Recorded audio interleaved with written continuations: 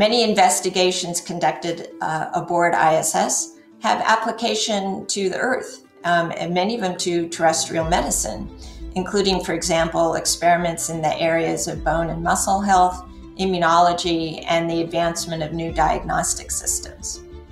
In addition, much of the technology that has been developed to operate ISS has found, as I said, application here on Earth. For example, some rural areas in Mexico are getting clean water based on technology used in the water recycling system on ISS that turns wastewater, including urine, into drinking water. Or as the astronauts like to say, it turns yesterday's coffee into tomorrow's coffee.